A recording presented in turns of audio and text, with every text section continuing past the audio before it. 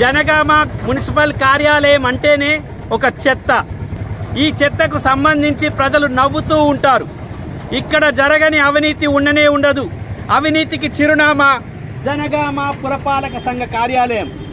అసలు పురపాలక సంఘ కార్యాలయం అనే బదులు అవినీతి సంఘ కార్యాలయం అని రాసుకుంటే బాగుంటుందేమో అని జనగామ ప్రజలు అనుకుంటూ ఉంటారు.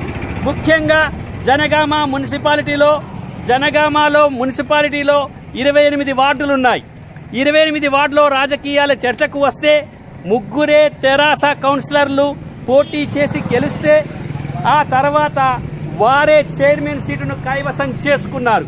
అది ఎలాగో ప్రజలకు నేటికి అర్థం కాదు. ముగ్గురు కౌన్సిలర్లతో ఒక చైర్మన్ కావడం నేటికి అర్థం కాని విషయమే.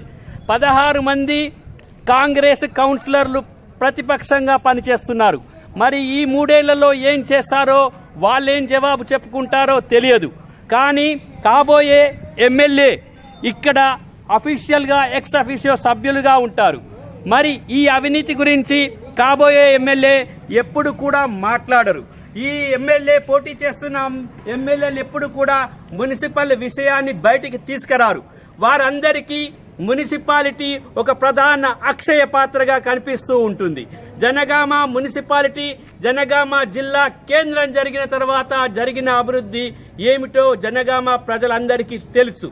మరి జనగామ మున్సిపాలిటీలో ఇరవై ఎనిమిది వార్డులలో జరిగిన అభివృద్ధి విషయంలో పోటీ చేస్తున్న ఏ ఎమ్మెల్యే కూడా మాట్లాడకపోవడం జనం గమనిస్తూనే ఉన్నారు. మరి అవినీతికి ప్రధాన కేంద్రంగా ఉందని మున్సిపాలిటీలోనే మున్సిపల్ కౌన్సిలర్లు అవినీతి ఫిర్యాదులు చేశారు.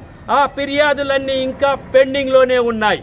అంటే మరి ఇక జనగామ ప్రజల్ని దోచుకునే మున్సిపల్ కే దోచుకునే కార్యాలయమే జనగామ పురపాలక సంఘ కార్యాలయం. మరి దోచుకున్న డబ్బంతా ఎవరికి వెళుతుంది? ఆ డబ్బు ఏం చేస్తున్నారని పోటీ చేస్తున్నటువంటి ఎమ్మెల్యే అభ్యర్థులు సమాధానం చెప్పాలి. పోటీ చేస్తున్న నాయకుల్లారా ఎమ్మెల్యేలారా జనగామ మున్సిపాలిటీని ఏం చేయబోతున్నారో జనగామ ప్రజా మేనిఫెస్టో ప్రశ్నిస్తుంది.